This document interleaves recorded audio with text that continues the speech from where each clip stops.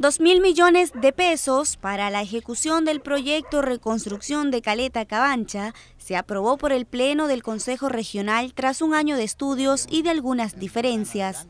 El proyecto contempla tres niveles de 1.415 metros cuadrados de moderna arquitectura. Para mejorar la seguridad de los turistas, visitantes y pescadores, contará con accesos vehicular y peatonal independientes. Muy feliz. Eh por, mí, o sea, por nosotros, por la gestión que hacemos, por los pescadores en particular. Acabo de hablar recién con, con el señor Oscar Zambra, le está dando la buena noticia de que aprobaron completo el proyecto. El proyecto de reposición total de la caleta Cabancha, es decir, un proyecto nuevo. Todo este edificio, ¿cierto?, tan antiguo, se va a demoler parcialmente y se va a reconstruir completamente el edificio. Hay que señalar que la caleta está data de 1887 en 1935 recién se construyó el primer muelle.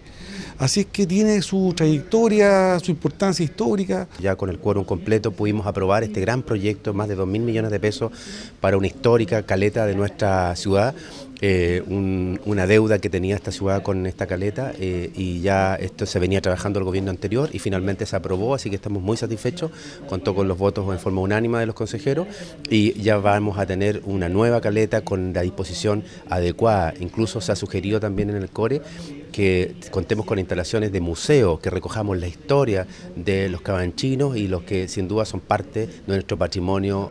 Pero no todo fue tan fácil. La votación para este proyecto se había estancado en una sesión anterior por la falta de quórum. Consejeros no perdonan a los involucrados de los famosos Iquique Leaks.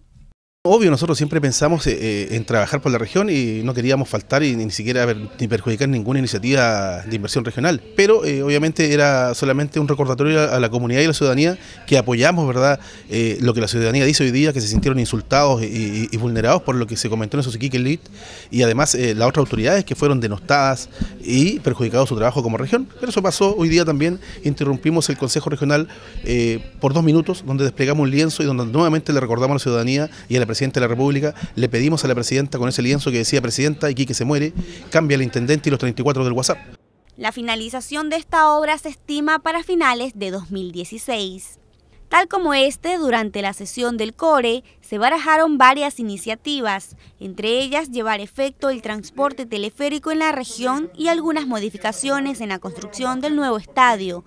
Una de ellas sería su ubicación pues, la bien, la prefactibilidad y todas las cosas y ver el proyecto de la universidad.